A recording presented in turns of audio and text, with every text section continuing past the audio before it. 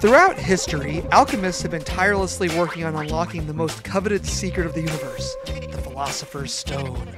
Following the teachings and formulas unearthed from the vast works of Hermes Trismegistus, these figures of wisdom and renown transcend time to face off against each other in a race to become the greatest alchemist the world has ever known. On your path towards everlasting greatness, you must perform experiments, transmute mere metals into pure gold, and acquire powerful artifacts. By expertly utilizing alchemical powers, you will progress along four elemental mastery tracks, discover and complete formulas of the Philosopher's Stone, and perhaps, just perhaps, become the greatest alchemist able to rival Hermes Trismegistus himself. Tonight on the Board Boys. Trismegistus. Trismegistus.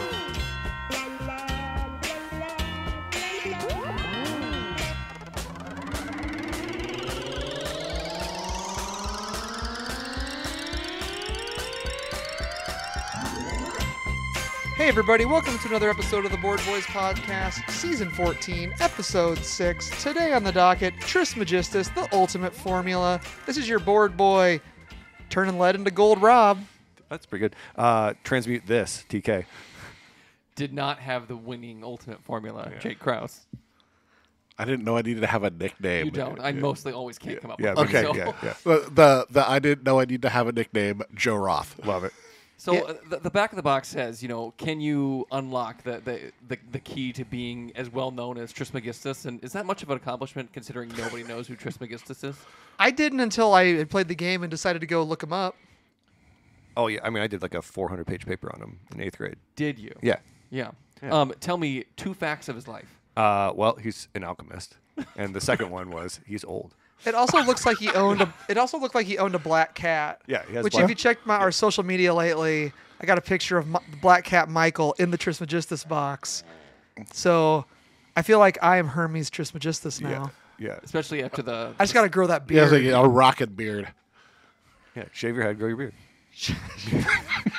Step one: That is, a, shave your that is a head. clean shave. So that's a pretty. Uh, It is. That's a pretty intense dedication to making that happen. Also, those eyebrows, though. I my I have I have the Pearson eyebrow game is strong. My Yeah. grandpa's eyebrow like I might not be growing as much hair up top anymore, but the eyebrows definitely rock out.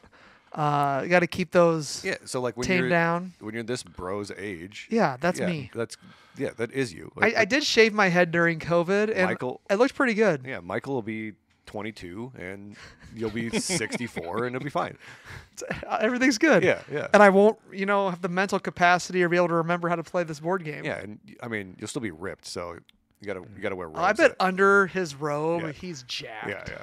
Also, um, you know, in 20 years, that maybe this fashion is cyclical, and we'll be wearing, you know, these these intense robes. In the future, maybe we'll wear robes like this and mean- just look like magicians. Dude, as what- long as powdered wigs make a comeback at some point, that can't be a one and done his- historically, right? Can we get powdered wigs and robes, like super breezy underneath, and like big heavy hat wear? Sounds awesome.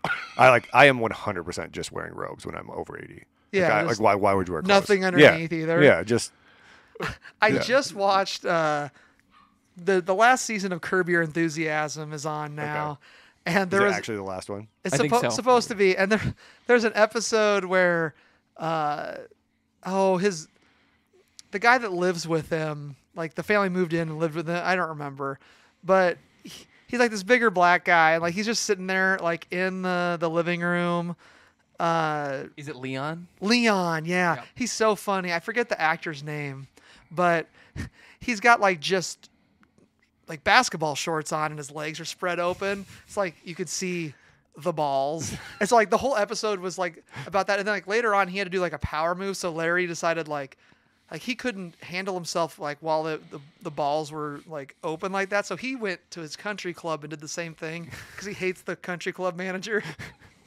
to like get out of something he did. I don't know. So the power move apparently It is just- just, to, just to show- yeah. accidentally show your Yeah. balls. Yeah. Yeah. In the So gym ju- shorts. Just wear robes all the time. Yeah, same thing. Perfect. Perfect. I think we just earned our explicit rating for this uh, episode. I, Yeah. Cam's gonna have the beeping. You know. Just because I said balls four times. Yeah, yeah. It'll be fine. All right. Well, on the Board Boys podcast, we do talk about board games, and I've got. I did not plan this, but this is also a game by Board and Dice that I'm going to talk about. Uh, it is Dark Ages Holy Roman Empire. This came out in 2021, and they actually came out with two versions of this game, like at the same time. Um, I forget what the other one was. This one was the Holy Roman Empire, and the other one was the Heritage of Charlemagne. Yeah, they're both Dark Ages, though, right? Yeah, both Dark Ages. They're just like slightly different maps. And if you have both of them, just like Prodigal's Club and Last Will, you can smash them together and play an eight player game of Dark Ages. Please don't. I don't think I'd want to do that. I read the rules and they don't change anything. Like you literally Is- just it'd be like an all day kind of big event. Which if you like those kind of bigger games like that, I mean it's like playing TI forever. So Yeah, but TI is better. well, I mean I don't disagree with that fact probably, but You don't even like TI. That means I don't don't. like this game. No, I really like. I, I actually mean, really like the game, I would too. rather play Dark Ages than TI any day of the week because I'm not a big TI four fan. players. TI at four players? No, no, no. At uh, Dark Ages at four players. Oh yes, yes, yes. I mean, I've never played it with more, but four seemed fine. Uh, it is one to four. Community says best at four, which I definitely could see. It's a two to three hour game. It's about a three and a half on the weight scale. Uh, and the designer's Adam Kwapinski, which he does a lot of the Awakened Realms stuff, Okay. um, like I, I believe Nemesis Is and this- things like that. Is it newer? It looked a No, little it, older. it came in 20 it was a Kickstarter from 2021 and they just like kind of reprinted it but like it's not like majorly I'm not sure why it even got reprinted but I think it really flew under the radar. It's like ranked 3000 overall or something. Um it's a really cool little 4X game.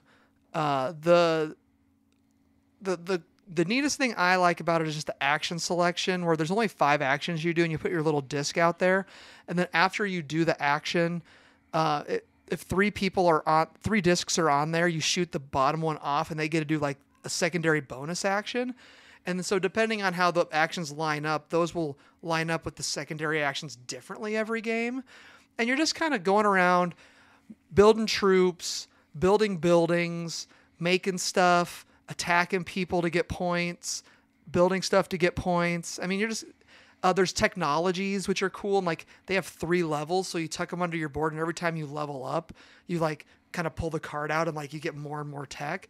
So between the technologies and like the building and the game has like 12 modules or something crazy in it and they're all like real small little add-ons. I definitely now that i've played it once i've read through the rest of them and i definitely know the couple that i want to throw in. Um, i think there's a couple that will smooth out some of the wrinkles like early on there's barbarians on the board that you attack. Uh, and if you kind of lose one of those early battles it's rough. it's a little rough and it's uh, you're rolling dice too so like the the it's a dice battle system but you know you got to kind of go in with more than you expect in case of a bad roll and there's technology that'll help and the battles are cool too uh, you kind of always do them in the same order like your archers will always fire if they have the ability to do that and, and then uh, you'll cavalry will do a charge and you'll roll for that and then all the infantry will roll and that'll happen and then that's it like you guys can coha- you don't keep going over and over and over like you can end up cohabitating a space right No, no, no. or am I or am I forgetting which game That- I'm talking that's about? That's the end of the fight, and then whoever has the most army left over wins the That's fight. right. Yeah. Depending on the level of your armies, so if you've upgraded your armies, um, They're like level one, two, or three. So like if you have Yeah. one level three, you would have a three strength, and if someone that's, has one level right. one, you so have whoever one, two, has yeah. the most strength, Strength, at the end of the battle gets to keep it, and the other one has to run away. Yep. So and then uh, I don't know. You just gotta keep doing that, like building churches. Like we weren't really sure how to score a bunch of points until we're like, Tim built a church, and we're like, And I oh scored yeah, like twenty points. Let's do Yeah, that. Yeah. So there, there's a couple of different triggers to the end of the game, which is like build all the churches, build all your technology, or there's like five of them. yeah, okay. Like, Um, you can run the deck, like the tech deck can run out, and ultimately they were all fairly close to happening at the same time. Yep. yeah, I think we probably could have pushed it if we were, would not have been our first play. We probably would have pushed one more. I think churches would have gone. I think so. And like we were all learning the game for the first time, and we played it in under three hours, I think. So, yeah. I definitely want to try to get it back to the table again soon. It was cool.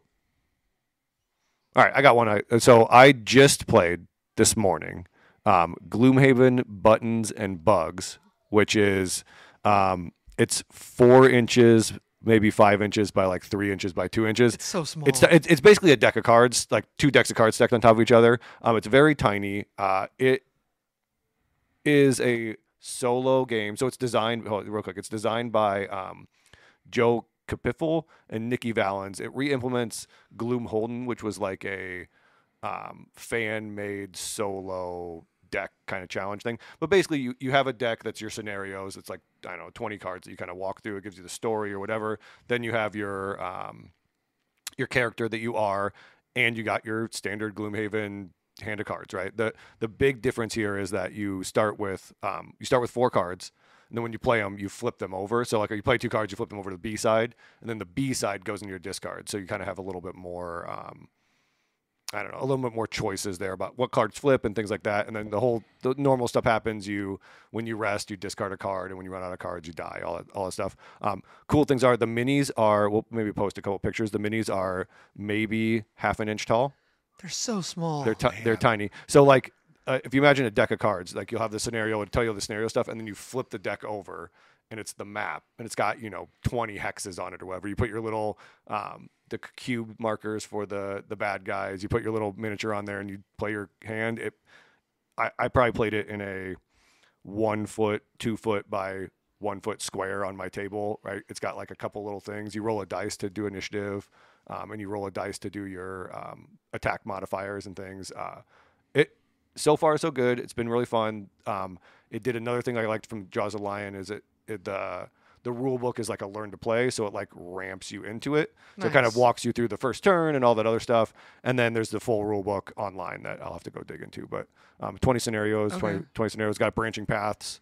You know, um, you level up, you get new cards, things like that. So Seems like a meaty game for that size of the box. I mean, it's and it's like twenty bucks or something. it, tw- it was 20 bucks. The scenario, the first scenario took me seven minutes to, It- to it- solo game, right? So strictly solo, yeah. It seems like a sweet uh, airplane tray table game. Yeah, like Like like you and, could probably play it on that. yeah, for me, someone that stays a lot in a hotel, like just you know bored, whip it out, play you know 20 minute scenario and put it back, or play on the you know the tra- the tray table on an airplane. Like we're in to Florida, Yeah. so um, yeah, I was overall pretty excited. I'm excited to get uh, you know run through some more scenarios Sweet. Man, I might pick that up for for 20 some- bucks. Like it's sounds like cool. almost a no brainer. Like. Yeah.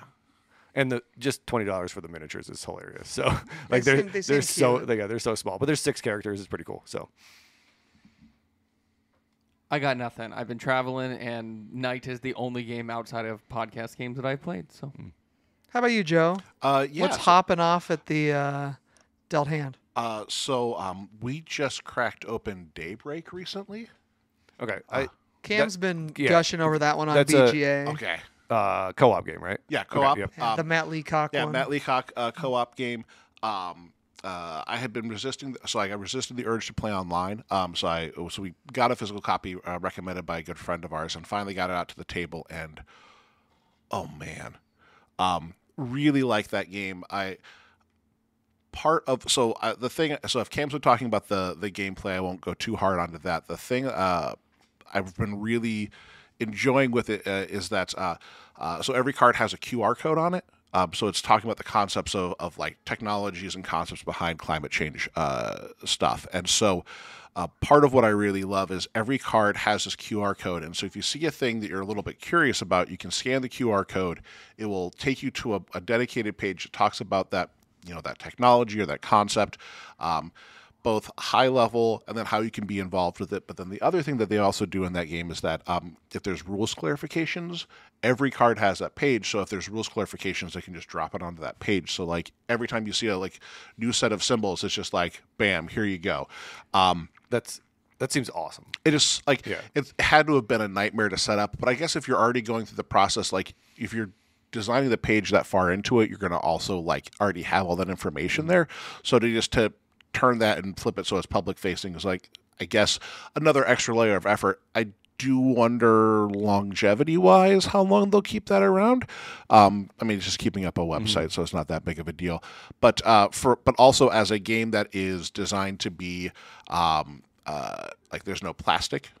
Uh, there's it's it's a completely compostable game. Uh, it still feels really nice. Um, uh, so all the components still feel really good, um, and the play has just been really good because uh, you know people love cooperative games, uh, but in a lot, especially a lot of the Matt Leacock cooperative games, like quarterbacking is such an easy thing to to slip into. Like, oh, you do this, you do this, you do this, and this is how we're going to do it. Um, This feels almost more like Spirit Island in terms of like feeling really overwhelmed up front, like there's no way we're going to ever pull this off. Um, and then you finally kind of start to build up some power and some some ability to get it done. And there's a lot of like, well, this is like I can maybe help you with some of the things that you need, but I can't ever tell you how to run your turn. Um, Right, which I super appreciate because like oftentimes you just get that person who's like, well, no, you do this and you do this and this is how we win, and that's not fun. Right. So Yeah. yeah, That's awesome. I'm excited to now that so I know someone that actually physically has it. It'd be nice to play. Yeah. So it's super pretty. It's like even games like Pandemic, I prefer playing those with closed hands. So at least then you even have to talk about the cards in your hand instead of people just looking and telling you what to do. Mm-hmm. So I, I definitely get that. I just have one more I want to talk about. Uh, Tim turned me on to Fliptown. yeah. Uh, this came out in 2023. The designer is Stephen Aramini, artist is Naomi Farrell, and it's by Right Stuff Games. The main way I think you can get it is from their website, Right Stuff Games. Uh, we played Tim's print and play copy at uh, Dungeons Gate, Yep. and then we decided just to pull the trigger. We bought copies from the website to get the actual ones, and uh, I've got to play solo on that once so far, and I really like the. I mean, like the one we we just obviously had paper we were using or whatever. These are dry erase boards, and like they're folded. Like they the box is very small, so it's very portable too, which is cool. But the boards fold out, and the dry erase is nice. Uh, we've talked about. I'm just going to hit it briefly though. Basically, you're playing over three rounds, and every round you're going to make a poker hand, and depending on the poker hand, you're going to get money and points off of that, right? Yeah. Depending on how good your hand was. There's a variant where you can play Texas Hold'em instead of just playing five card stud. Highly prefer the Yeah. Texas Hold'em variant because it gives you a little more, A little bit more flexibility. A little more like, flexibility. I found that like even with Texas Hold'em, I'm still only getting. I'm not getting like royal flushes all the time. No, you know? no, no, Like no. every once in a while you pop off with something good, but it's like most of the time it's like I got two pairs. Yeah, but then like every suit has to do with a different part of the board, and then there's also numbers that correspond to a lot of the spots on there, and you're either going down a trail or robbing a train or uh, digging up graves or or like digging down a mine or doing something in town. like those Tech- are the different areas. technology, Yeah. Yeah, and like yeah, there's so there's like technology, so you can like get better guns to then rob the train better. And every, every round you just flip three cards. You pick one card that's going to go into your poker hand. You- The other two cards, uh, you pick the suit for one and the number for the other one, and then that's the action you're going to do. And everyone can pick different stuff out of those three cards, and you do that five times. So basically, you get to do 15 different things. But it's like any other roll and write. You can like trigger extra actions and do this to do that kind of things. And then you can use gold. The literal gold nugget in the game is a gold nugget. And you spend those to be able to uh, increase or decrease your number or change the suit of a card that's in there. Highly thematic for a roll and write. I love poker. It comes with a nice, like the, the deck of cards is nice. The art on it's good. Those feel good. Uh, like I said, the player boards were good. Uh, it's got um, variable player powers, which I think is cool. It's got a solo bot too that kind of like disrupts the game. So. Yeah, there's a solo bot you can play with, and if you're playing the game solo, the the player boards uh, have like nice spots that tell you where to put all the cards you used and stuff too, which I think is neat. So, yeah, I I'm not a huge roll and write guy, but when they are on point with like their theme, kind of like this, and like I like poker anyway, Hmm. so Wild West poker theme kind of brought me in. I'm I'm really digging it. It's definitely a lot of fun. Tim and I played it at uh, at work one day, and I had a lot of fun with it. I'm eager to get it played again. No, I got a copy, so I'll just bring it in. I'm gonna have to track that down. Have Have you all played Balatro? I've not. Okay, so video game. So the, we're, uh, we're but it, it ties in. I promise. Um, so my uh, I tell people that board games are work for me. So like when I want to have my like wind down time, I'm playing video games because I can be completely selfish. Um, so Balatro is indie little uh, card game. It's on Steam. Uh, coming to the Switch. They're going to be putting out. Uh, I think it's becoming mobile. Um, it is a roguelike deck builder with poker I and- heard about this. and it is so good. Oh my gosh. Um, like I've got 20 hours in this game already or something like that. So basically you start with a standard poker deck, but then you can start to do things like jokers give you like, oh, every time you play a club card, you double, you know, you double or quadruple the value of your score. or you get to start doing things where you can change the suits or delete particular values and like give you different ways to do kind of combinations of scoring um, and it gets like that part of a deck builder where you're like oh i'm just about to break this game entirely and then like in a real game they're like okay and now you've won or that's the end of the game uh, Balatro just takes that point and just keeps going. So you get to that point where you're like, oh, I'm gonna do this thing that lets me like multiply my multiplier, and all of a sudden I scored a thousand points on this game.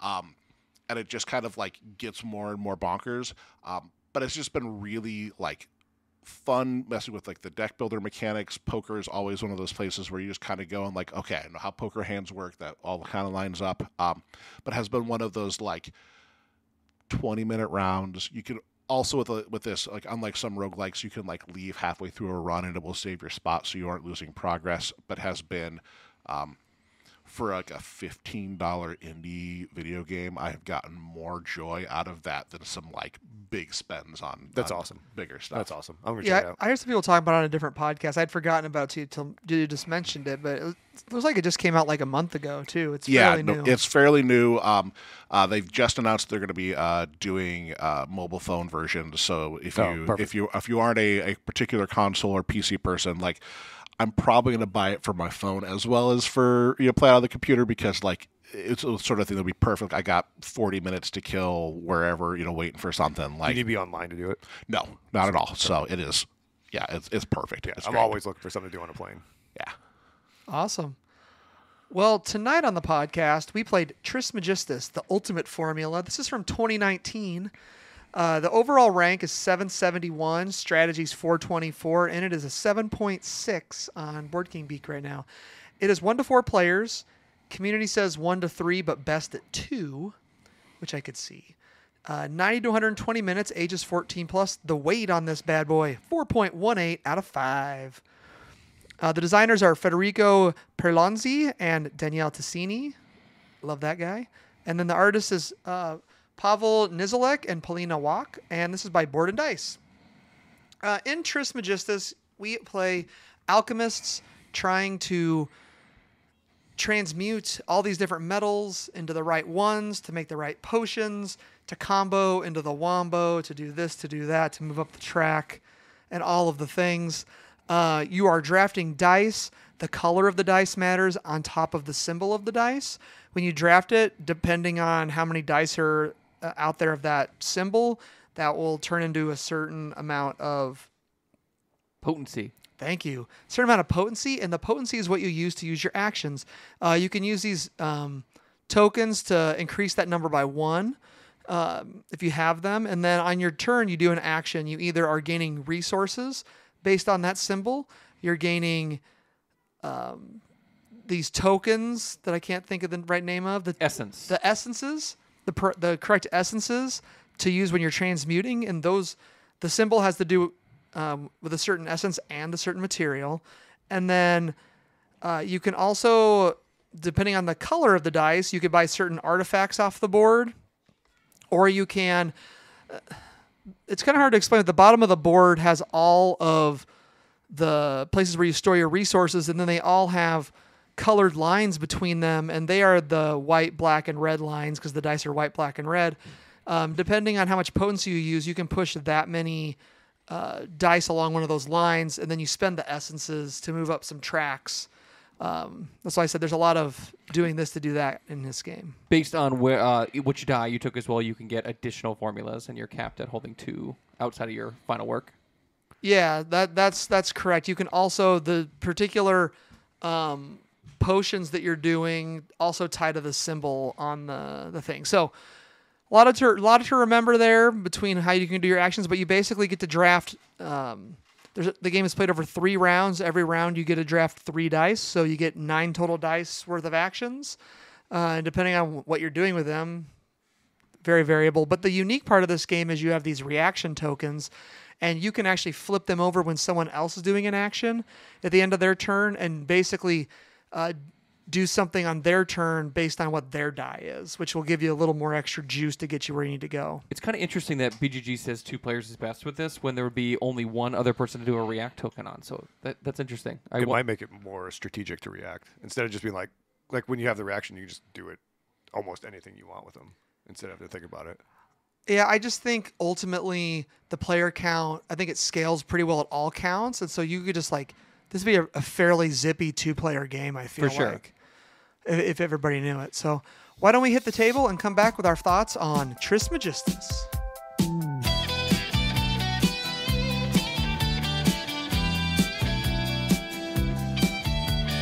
never believed in things that I couldn't see. I said if I can't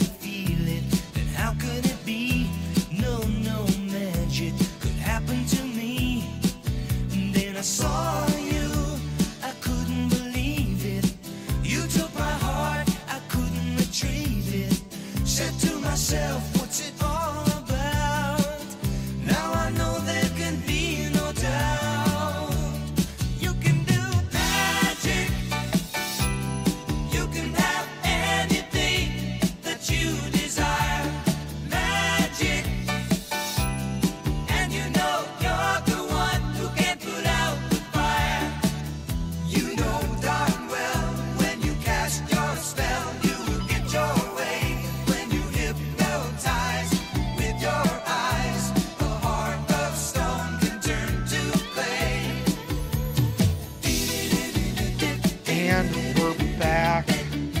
Joe, you're the guest. You didn't know what we were playing really today until you showed up. What you? What was your initial thought when I told you, "Hey Joe, do you want to come play Trismegistus on the podcast?" You mean the most famous alchemist of? No, I'm not. uh, uh, my brain turned to pudding. Um, it, the I, I was, it was a fun game. Really enjoyed it. the The symbols in this game are rough. Um, uh, it was definitely I, as much as I, I, I kind of got there with the first playthrough, but I tell you what. Um, the the use of alchemical symbols makes sense from a thematic standpoint, but they are not visually distinct. Um, and it definitely took a lot of like active thinking to figure out um, what I wanted to do each turn. Um, I think I really my board, my particular board also didn't have the ability to gain additional reaction tokens, uh, and I feel like especially on a first playthrough that really kind of put me in a rough spot because I had to be really efficient with what I did, and then I didn't know what I was doing, so that was hard. Um, I'll go next. The, the first time I played this was a couple years ago, and I think I just played with Rob and Cam. And my first reaction was, I don't remember the last time I played a game that I disliked as much as I liked uh, Trismegistus. So uh, my, my opinion is not that anymore, but it was not a favorable first opinion for me. uh, I think probably a little bit with Joe. The my first reaction, even after kind of learning the rules outside of the game, um, you know, like watching a video or whatever, uh, still very like mind meldy and melty. Like it just there is a lot of like the reactions and all that because it just kind of blows your mind and there's a lot of combo wombo. So that was kind of my initial reaction. Yeah, same. I tried learning this at Cardboard Caucus. I got a copy. I literally bought it because I liked the designer and I thought this theme was fun. Like, there's not a lot of games kind of like this. Um, and, you know, it's a T game in air quotes, I guess. Um, and then we just struggled real hard going through the rule book. It was it was a bear. So that was my initial thought. But let's talk about some pros. Um, Man, you have some turns where everything goes right and you're flipping stuff and you're hitting bonuses and you're like, well, I got to do this and I got to do this and I got to do this. And now it's actually my turn, so I'm going to do this. yeah, it feels Um, real good when your does. turns When things go right, it feels great. Yeah. Um, I really enjoy the transmuting. I think it's fun to turn stuff into other stuff. Uh, and then, you know, I'm a, I'm a track boy, so I love tracks. And so being able to toss those tokens to go up the appropriate track, I think is also fun. Um, I, this game feels like a game that rewards expertise in it, um, and like I really love like my thing is like this lets me do this and this lets me do this and this lets me do this and that is like there's nothing that scratches the board game part of my brain better than that. And this is definitely a game that once you know how it works i think it gets there but i feel like this is the game that you need to have like three plays in to have it really start to sing. Um, and that's a that's a tough like hurdle to really feel like okay now I've got a good grasp for it for now I can really jump into it. Like that is a I guess for uh, depending on where you're coming from, like three plays to really feel like you've grok a game is is a lot to ask sometimes. Yeah, it's definitely not a first play score 140 points type game. That's true. Nobody I've ever played it with has rocked it out the first time. And three does feel about right. Like I'm looking at my history of plays, and even after playing it a couple times, I've had a couple of turd scores where it didn't happen. My last two, I have seen the Matrix, and like I think I've unlocked my brain to the Trismegistus verse. But I mean, I have like seven plays of this game, and I have not played it since 2021 though, and I played it twice this week because I forgot how much I and for as heavy and dense as this game was, I looked at the player aid that I had and was like, "Oh yeah, this is how you play this game."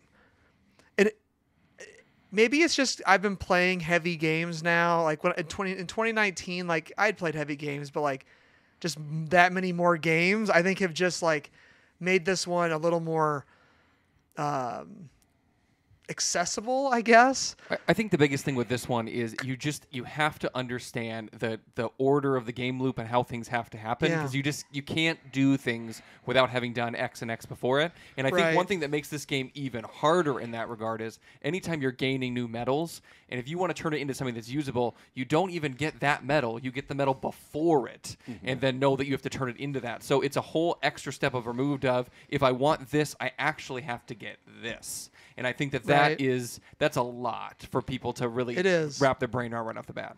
I mean, um, I wasn't a huge fan of the rule book when I originally read it. I would say I've read a lot. Like this is this is just how Board and Dice does their rule books now, and I actually do like in general their style of here's the game, and then here's the sections of the game. Like later on, then you can go look at the particular thing. It's pretty good, and they even have like a page of here's stuff people screw up all the time, or like all of that is very good. The pl- uh, I don't. I guess I'll get into that in cons, but uh, the other thing I like in this game is the artifacts. There's lots of them, and they're super fun. And you get to you get the stuff like they cost three potency, which is a lot. Like by the time you third draft your third dice, if you get three potency out of your third dice, that's pretty good. Um, so, and you have what, like six spaces on your board for artifacts. But every time you buy one, you get to activate it, and then you get to activate it every time you um, transmute past it, and then you can spend a potency just to flip it back over, like to activate it again later. Did anybody do that this game? I did I not. thought I thought about it. Yep. Yeah, I mean, some of them I did in, in our game on Tuesday because I had one that like just made gold and silver. Um, and it's cool. Gold is a gold is a like a wild resource, but you also use it to buy those formulas, and then just unlocking that whole philosopher's stone in the middle with those formulas and like filling the rows and columns kind of feels uh, Newton-ish as far as getting the bonuses off of that stuff. So like filling that thing out is fun as well. I like the dice drafting. Uh, so there's what six pods? Yeah. Sound right? because there's five there's five dice sides that do something and then there's the sixth that is the wild Cool. yeah Yeah. So there's um there's the the five pods and then there's three different colors. So there's like six different symbols and three different colors and choosing the right one with the right power to do the things that you need to transmute the right color. I think is quite interesting. It makes uh, makes for tough choices when you're trying to take a dice. On the other side, the reactions are really cool, so that kind of balances it out a little bit, in that you can maybe take a black dice for something that you need for an artifact, and still get a white transmute off of someone else taking a dice, which is which is pretty. And I think that specifically right there really helps this game be interactive as well because if the reactions weren't there, I mean, it would be rough waiting for your turn to come back around. But because the, the taking the die restricts you so much in regards to what it can do for you, you're actively engaged in okay, Rob's going to take a die. But I need this to happen when? How many die are left of the color? Okay, there's probably a good chance he's going to take that color. Then that's going to happen before I can go again. And I think that that really keeps that lull time to a minimum in this game. Yeah, and like as a reaction, you can have a 15 minute turn. You, That you know, like true. like uh, over someone else's turn, right? Like you you know, if- i mean potentially like so I had I had a um uh eh, what what are they called the the technologies I don't know Artifact. Artif- I had an artifact that would let you transmute again. So I'd transmute once and I would transmute again, and then you could run that across another artifact that would get you a reaction back or something. Like it just it can keep going. So like I- I'll talk about it a little bit in cons, but like they- they're like your off of your turn, you can take monster turns, and Yeah, then very come back to your turn and go take another monster turn. Yeah. An- another pro for me is the playtime. I mean, for as heavy and meaty as this is, I don't think I've played a game of this that goes over two hours, to be honest, and even with four players. And I think it's right, like we kind of talked about before the review. I don't know that I've played this with two. I played it solo, which there's a bot and you kind of got to do a little extra work with it. But I think I like the solo. Uh, you can kind of just, I, for me with those bots, I kind of sometimes I just forget what you're supposed to do with them and just do the thing that would screw me the worst, or like the best thing for the bot to do against me, and like that makes it way easier. Cause it's almost like playing. Sometimes instead of playing the solo, I'll just play two handed, and that way I can try two different strategies and figure that out.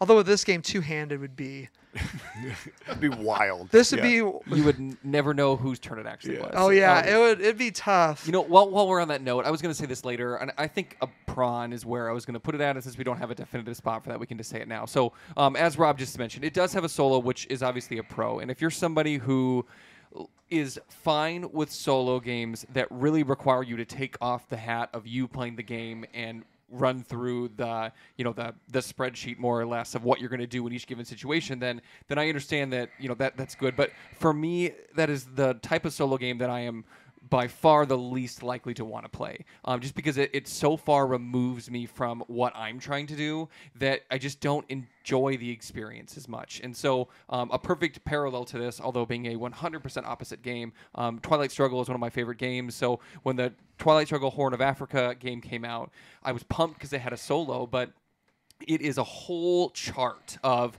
if this then this if this then this and just by the time you navigate through that it just it just doesn't become worth it for me so um, i've gotten to where i really enjoy playing games solo but this for me where it's a list of priority is is not the solo experience that i like so um prawn i suppose yeah. I got another prawn.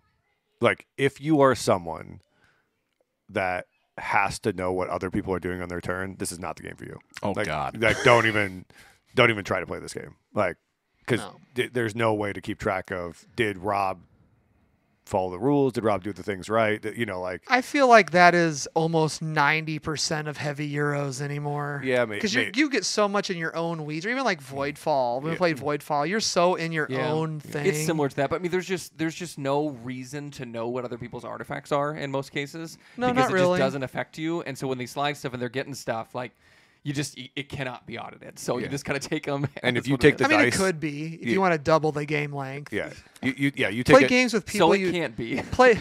Play games with people you trust. Yeah. That's Yeah. my uh, yeah But that, that's just the general rule anyway. yeah. right. I mean- if I have like, I don't want to have to work that hard on your guys' turn. everybody will take a turn at the same time almost the entire game.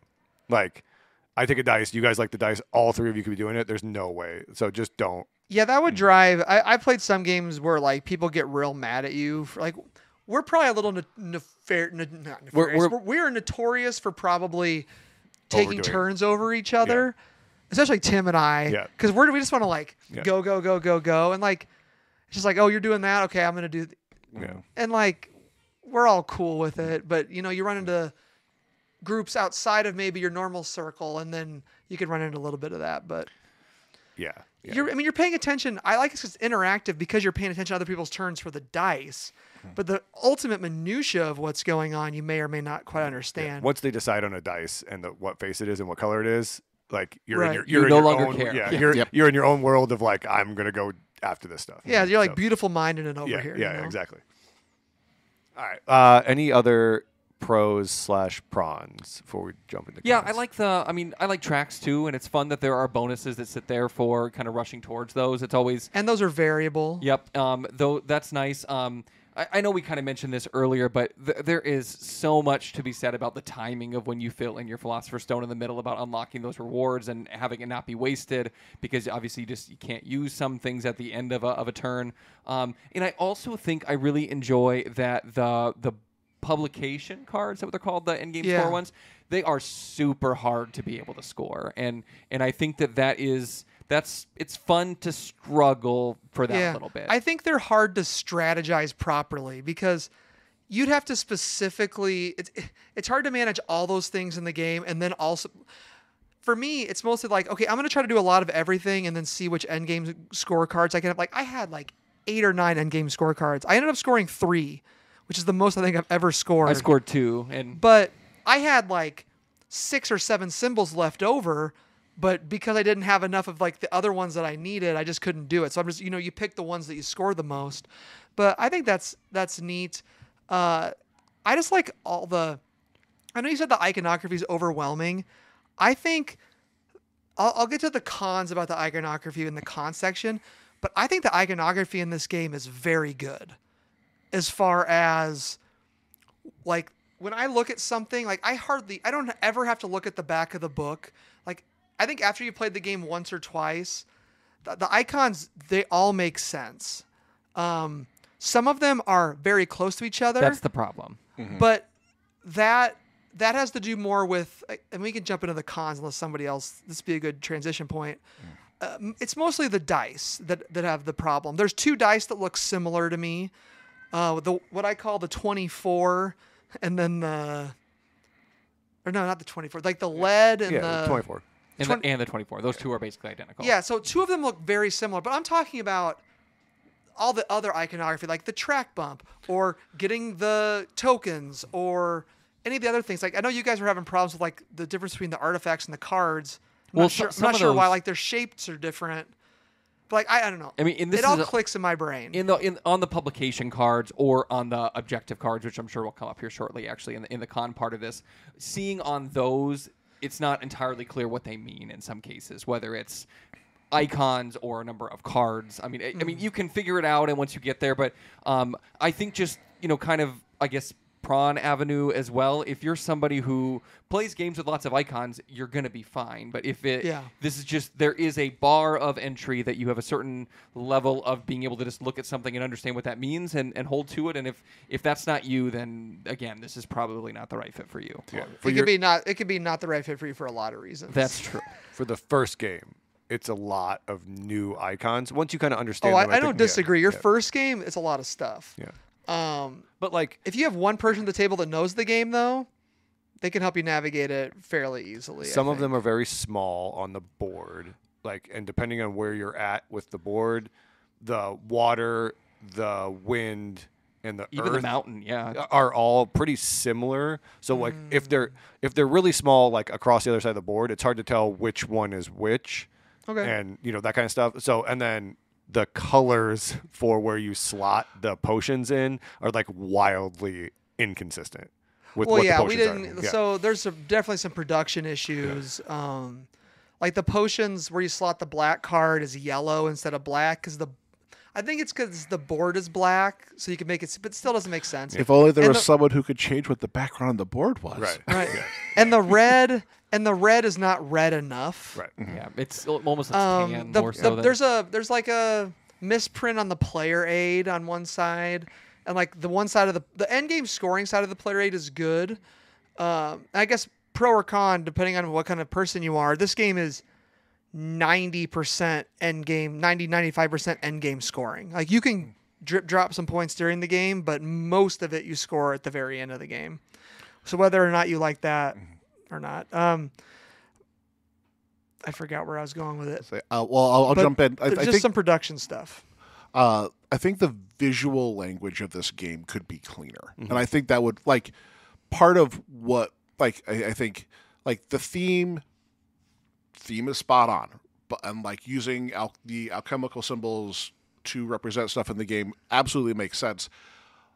Two of the symbols are very very similar, and like there's a combination I think of like like maybe it would look a little like there's definitely like you lose a little bit of your theme if you change the way your board was laid out a little bit but you could do things with like secondary colors or doing some highlighting that would make it easier to look at the board and actually know what's going on and having the colors line up. I think there's sometimes i feel like board games get really excited about being pretty and sometimes forget about being readable. And I, I think if i were a person that had um, any degree of color deficiency in my vision, I think this game would be truly nightmarish because like at least like I'm like okay well then you like, look for symbols that are different and some of those symbols are also not the same.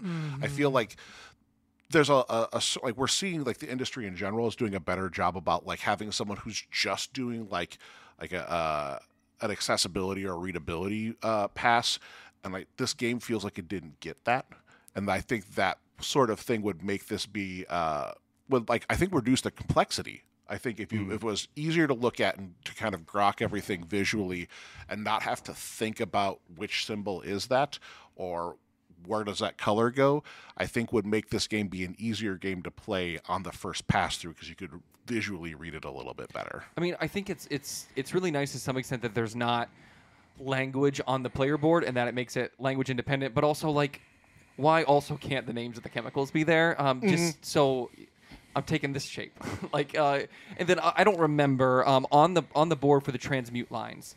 So there's black, there's white, there's red, but is the symbols any different for those colors? What's behind them, or is it purely the color? It's just the color. It's just the color. So I mean, so that's um, you know, maybe not the best either. And uh, on the first time, I think the red is really noticeable, but the black and the white aren't necessarily as noticeable in the background for transmuting. Um, the red kind of really pops and your eyes are drawn to it, but um, even this time, there's a couple times I was just thinking I could do something. I'm like, oh wait, that's not the that's not the color. And um, one more note on that first play, I think it's just it's I don't I think it's necessary probably for the way this game works, and I've grown to like it. But the first play of understanding what the difference between a raw material is and a refined material of the same thing is really hard to wrap that in your brain that you only get it in this form which actually isn't even the usable form of what you're trying to accomplish with it and that's just a big hurdle um, the first time you play this Yeah, and those are just denoted by circles and squares too, which, like, like I said, once you get it, you get it. But at the beginning, it's definitely difficult. Or I see lots of people try to transmute the same thing, like the same material, like the refined into or the raw into the refined, the same thing. I'm like, no, you got to go one before that to get the one you want. uh, do we want to talk about those uh, objective cards that are a variant and not uh, not a part of the base game anyways Don't play with them. Yeah, what are they called? i think achievement cards is what they're called Yeah, in a game where experienced players already have a leg up, you can add these cards where you basically they're objectives, they're achievements. You aim for them and shoot for them, and they're worth points. And sometimes you get extra abilities. It's, they're just win more cards in general. And i Like think, I got three of them. Yeah, I, I I got the other one, but barely. And I, I think that there is there's some not great there's some not great ways that those combine with the way that the publication cards already work because if you happen to draw publication cards that are asking you to get the icons that happen to be the achievements that are up you're in a much better position than if the things that you are trying to score on your own are the opposite of what's up here because you don't complete that many experiments like um, and so it just there's not like you don't earn an infinite number of icons and if you're getting pulled in two different directions you really got to choose and somebody else not having to choose is is a, a pretty big boon i think um, in your in your final score of this Yeah, I didn't like them. Yeah, it, no. it's just it's unneeded. I think I played with them a couple of times now, and yeah, they're just unnecessary. And they're a variant, like they're not in the base game. And there's a lot of games like that where I'm like, oh yeah, let's just play with everything. But I think like Underwater Cities has them, and they're very similar. Like I'm just kind of, I'm not a fan of those type of things in general. Now, if you're a group that plays a game a lot and you want to be more competitive, that gives you everybody something to race for, which eh, I, I get that probably, but when you play as many different games as we do, it's like just another thing. Yeah. Other cons. No, I mean, my all my cons I think are purely things that if they just did a second edition of the game, they could fix them. Like get get Ian O'Toole to do Yes, the yeah, yeah, graphic exactly, design yeah. and the art. Uh, I'm actually in the Board and Dice Discord, and they don't even they have a channel for all their games. Um, and they don't have one for Trismegistus because it's older, so that falls under their older games category because it's five years old at this point. And I was posting in there, and they're like, "Well, what would you do differently if like you?" were-" And I'm like, "Bruh, like here's all the the stuff that'd be like super easy to do, and, and like a lot of things you're saying, like just better colors. The sim those, those couple symbols are too close. Yeah, and even like the the air of the elemental symbols, mm. make them a little bigger. I mean, mm. just simple graphic design things, and I guess There we'll are- get, we'll get to my rating in a little bit. There are plenty of games that have the four elements as symbols on them that are graphically very distinct. Just do something like that. Yeah. And like at least and the experiments are fully colored, Yeah, like and they're supposed in their be. defense, board games graphically have come significant ways in the last 5 years. Yeah, Oh, that's yeah. also true. You got to remember this is a This is 5 this is 2019. yeah. So Sweet. You want to give us the the rundown? Yeah, so uh, on the Board Boys podcast, our final thoughts segment, we have a three Boeing rating scale, zero being the worst, three being the best. One time you give a four Boeing game. Uh, a zero Boeing game of Trismegistus is you just can't read any of the symbols. You have so you start with some gold and you turned it into lead on accident. You you transmute backwards. Yeah, you're transmuting backwards. Michael walks across your board late in the game and everything's gone. Yeah. Yeah. Michael, the the black Trismegistus cat, just cat swipes all your stuff. Uh, the three Boeing game is you're like Neo in the Matrix, and you just see all the combo, all the wombo. I will give a partial credit win tonight for Tim for helping me in round one realize that I'm an idiot and mm. could have done like, I don't know. You said like, hey, I- what about that? I'm taking the win. You Yeah, should. yeah. Because I did so much stuff off of that one little thing that you noticed. Yeah. And we said we weren't noticing each other's turns. I mean, There I was just go. waiting for you. Well, we could take away 50 points from Rob and he still would have won. So Yeah. Lapped me still with, with 50 less points. So I guess I'm the three Boeing uh, Yeah, Trismegistus. yeah. just. Rob. Just me. Uh, I'll go first. Uh, this was one that I, I've been like Tim and I have been like we need to play this again because it's been years since we played it. Uh, played it a couple times recently. Like I said, if it weren't for those few, I think overall, if there was a second edition of this game that came out, I think it got overlooked by a lot of people because they thought it was too convoluted and complicated. And I think a lot of that issue was production. I don't think it was gameplay. To, to be honest, I It, think it does have a steep learning curve. So you're not going to play it more than once. I can It- understand why that would. It does, but like there's only, I mean, I, I guess there's four reactions and then there's like five different actions. There's not a lot.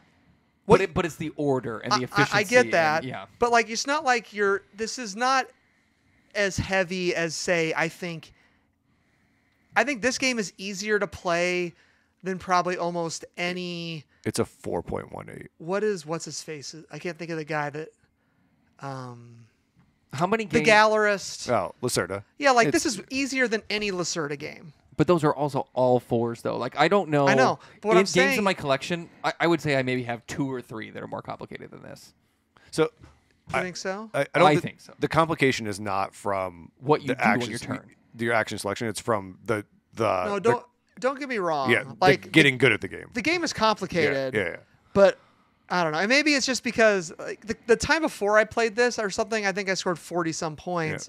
Maybe it's just the last two times I've played it, I've just played it and done really well. I think once you get over the the hump of Yeah. understanding the game, like the, the the symbols and the rules and that kind of stuff, like once you get all of that down, Yeah. call it play two or three, like it's not hard. It goes quick. There's always something Yeah. going on. It's fun to play.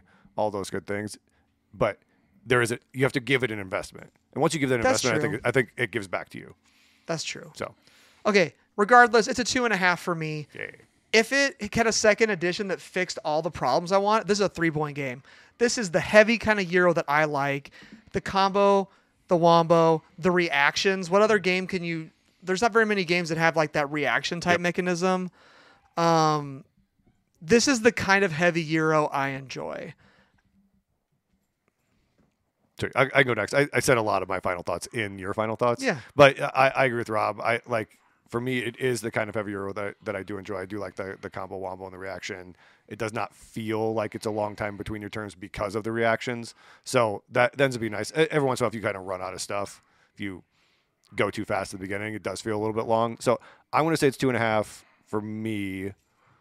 I probably err on the higher side. Like it's probably a 2.25, but I'm going to say two two and a half because I do think it's it's pretty good. So Okay, I can go next. Uh, I think that there's maybe not another game that I've had a more difference of opinion from first to second play than than this. Because again, I really did not like it the first game. I thought I don't ever need to play that again. I recall that. Um, yep, it, it wasn't quite the the Dwellings of Eldervale game where I lost every single dice battle the entirety of that was game. tight, too.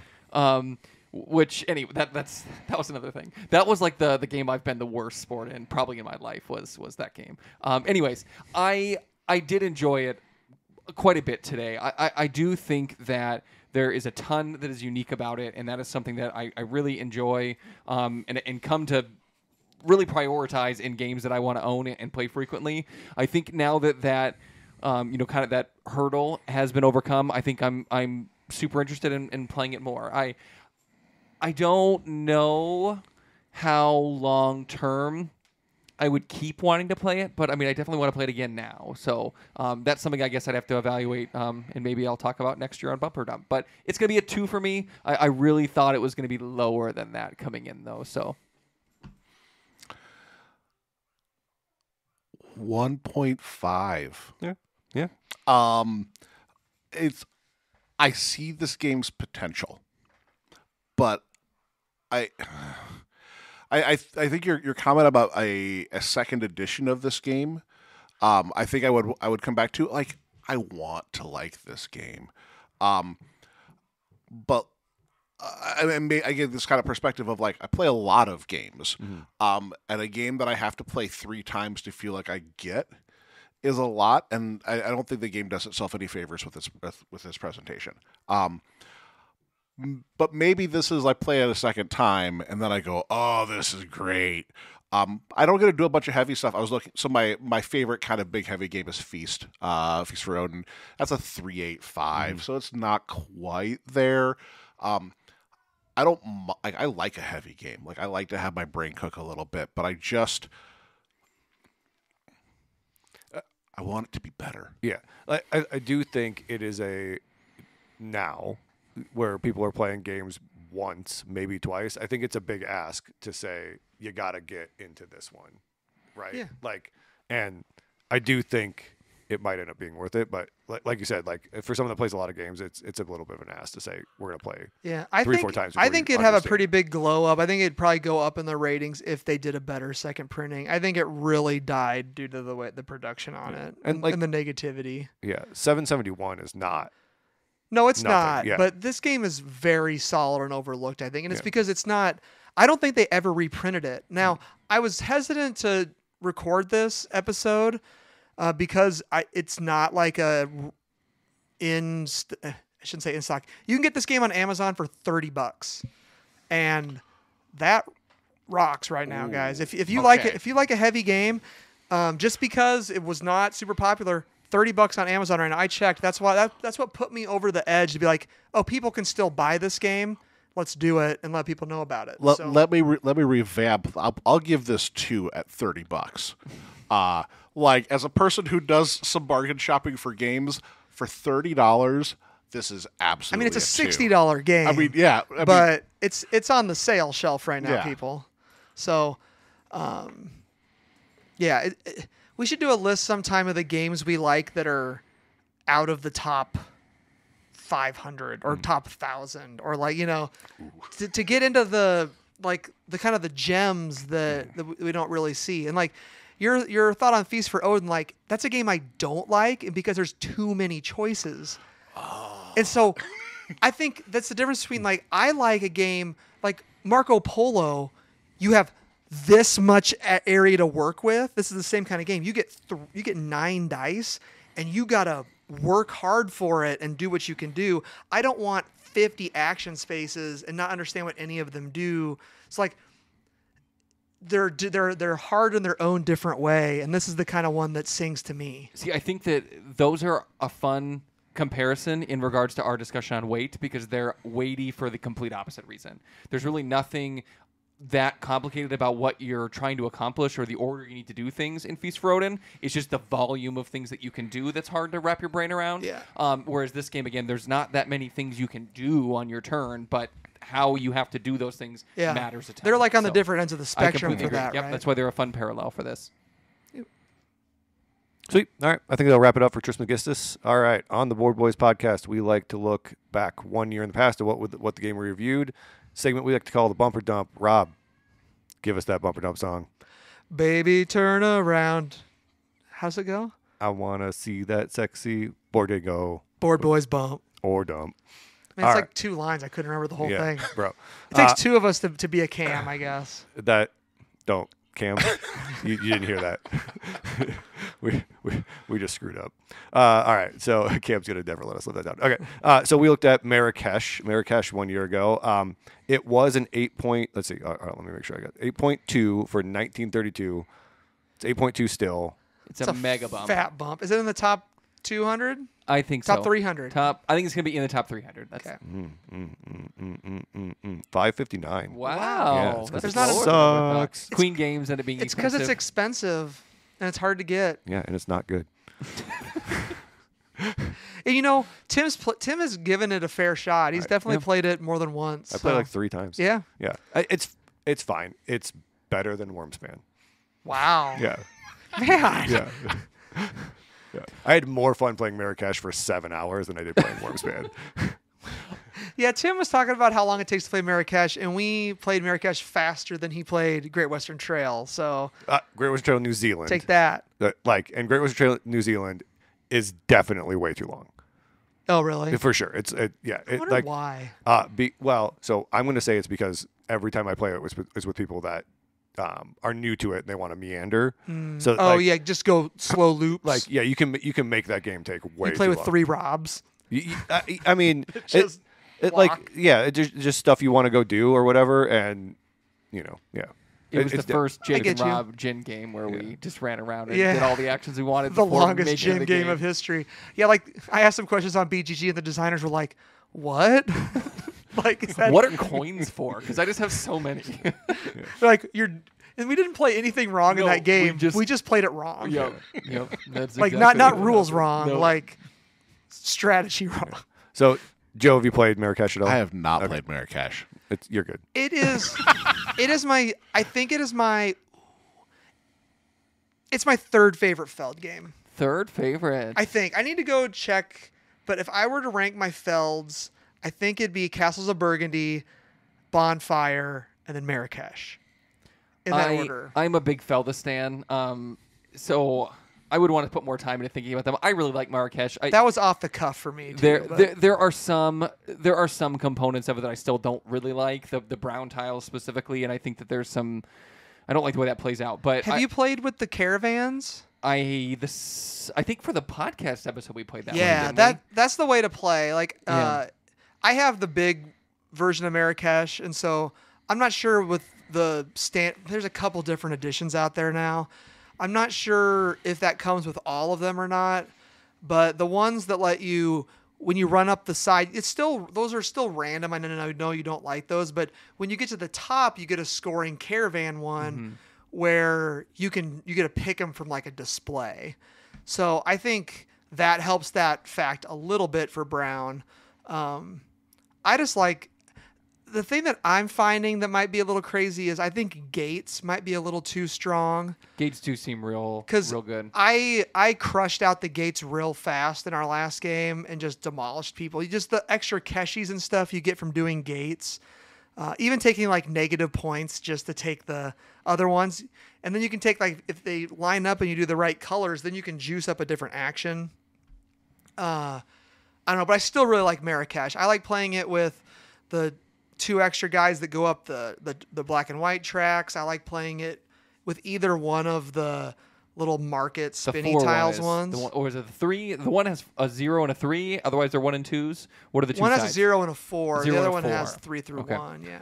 I still think that it's too long. Um, It is long. more than I want it to be, but I do. I just really enjoy it. I think there's a lot of fun um, set up with each of the round. How you get one of every color, and you're certainly not guaranteed to get those when you put them in. And just kind of gaming that out with the table does provide a little more player interaction than a lot of felds do as a result of that. So, um, not that that matters much when you're actually taking your turns, but I think that there is a. I, I, I really enjoy it. I want to. I want to get it played again for sure. I mean, it's two, it's two, two and a half hours to play. Yeah. And I, I think getting it any shorter with that with four players would be pretty tough unless you were really, I think it would be too. really banging through it. So, Cool. If you want to give us feedback on the bumper dump, you can do so at our Board Game Geek Guild, which you can find through our website. Uh, so we got BJ from Board Game Gumbo. He's only played Marrakesh once, but if the retail price wasn't one thousand three hundred and seventy-four dollars and sixty-four cents of Danish cr- uh, dollars, Danish krones, I would probably pick this one up. It's one of Fed, Feld's better point salad games. Although after just one play, can't give it a firm rating, but he calls it a half a boing better than Amerigo. Okay. So I'm going to say three and a half boings for um, I like Amerigo. for BJ. Yeah, and then uh, he said he'd give it four and a half boings, but Rob's just going to edit it out. Uh, He said that last yeah, time he too. did. Yeah, yeah. So, uh, so we got Teresa Akin. Uh, she enjoyed both her plays in Marrakesh. Not her favorite Feld, but she definitely uh, says it's three boings. And then Christopher Boat, easily three boings, probably in his top four Feld games. I know he likes Feld the whole lot. We've had Yeah. conversations about that. I don't remember what I gave it. I think I probably gave it a two and a half. It's probably still there too. It's just mini game the game, kind of. I feel like 'Cause there's just so many different spots on your board. Some of them are just so much more satisfying than others, though. That's true. So Two and a half. Yeah. Cool, cool. Yeah, and I a think. I two and think. a half points from Tim. He just said it. No, no, two and a half from Rob. Like it's lucky you got one point five. Did you give it a one and a half? Point five. You, You did give it a- not give it a point five. You You, just said it's better than Wyrmspan. Wyrmspan got a zero. Dang, Daniel. The anti boing. yeah. No, no, no. It, it, like, it's fine. I don't know. I don't really like any of the other Stel- Stefan Feld games, so I like Bonfire. you don't like Castle of Burgundy? It's fine. I like. It's fine. I don't know. Wow. It Ow. is so much better than fine. Castles is so good. It's also long. It, it depends who you're playing with. Yeah, it's long. Uh, it's fine. What are what are your other ones? What is his other games? I don't even know. Um, did you like Notre Dame when we played that one? I don't know what that is, but probably not. Yeah, no, I think you did. You have like little carriage that's zipping around. Oh yeah, I like that game. yeah, yeah, yeah, yeah, the yeah. cards come up. Yeah, I like that game. Um, Top five, That one's okay. top two. I'm not a huge fan. Um, what's his like Bonfire? I'm not a real Great. like. top one. Uh, we played La Isla at CTI once, but I don't think you were a big fan of that one. I enjoy Bruges. I- Isla's fine, yeah. I still have insurance. You you liked Merlin when Merlin's we played that great. one. Yeah. Yeah. Um, I still like um, Amsterdam, although man, that game is punishing. I forgot about Merlin. I have all those expansions that I've never played with yet. Yeah. Ooh, break it out. Um, I think a couple of them are very cool, and a couple of them I will ignore. but- Nobody talks about it, and it really is a different game. I guess it's kind of under that same vein of a, a game being similar to another one. But Castles of Tuscany is a game I really enjoy. Yeah, I played that once. I enjoyed it. I think. You know what's better than Castle of Burgundy?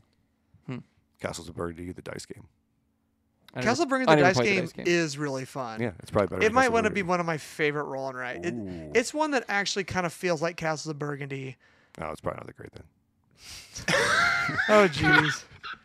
All right. Well, thanks for listening to another episode of the Board Boys podcast, season 14, episode 6, Trismegistus, the ultimate formula. Go to theboardboys.com. Uh, you can get, find all the cool links out there to all of our uh, Facebook, Instagram pages. You can go to our Patreon and donate there if you want more cool content from us. Um, you can go get our Discord link out there as well go hang out, talk to us, play some BGA with Cam. Uh, I'd like to thank our patron Patreon members: Hammond Buckland, BJ from Board Game Gumbo, Shifty Teeth, Jeff Gray, Andre Bosch, Braden Dowdy, Rob Cooper, Richard Lane, Matt Kelly, and Jeremy Thoman. Also, any kinds of uh, reviews or shares for our posts would be highly appreciated. Five stars on iTunes. I think you can rate people on Spotify, right? Uh, yeah. Yeah, just anything like that gets more people coming our way. Joe, uh, would you like to just give one out, one more shout out for the dealt hand? Yeah, absolutely. So, uh, if you're in Iowa, uh, you like games, you should come to our stuff. So, uh, thedealthand.com, Facebook, Instagram, all that good stuff is there. Um, we have uh, uh, events constantly. Um, we have people working for us now, which is great and weird. Uh, but that's mostly so I can hang out with my family sometimes. Uh, but we've got a bunch of great stuff coming up. Um, uh, we are bringing back our board game sale and swap at the end of May, which will be a good time. Um, and then uh, if you are in the Des Moines area on Saturdays, we'll be bringing back our uh, bingo and board games in the park at the Waterworks Beer Garden. Oh, nice. Beer garden's tight. Yeah, so when are it's you coming good. back to Ankeny? I just gotta have some place to go. Okay, Mm, I'll, wor- I'll work on it. Yeah, it, build a I'll- bigger por- patio, Rob. Let's go.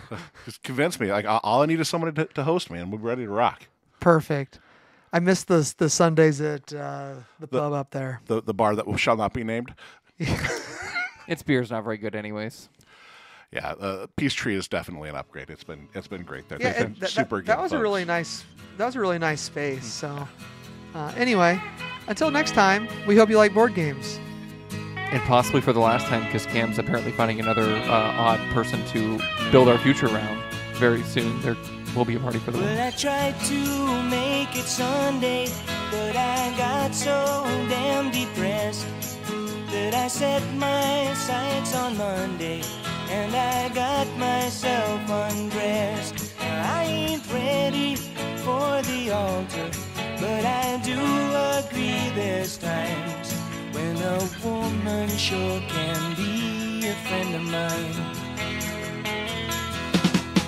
Well, I keep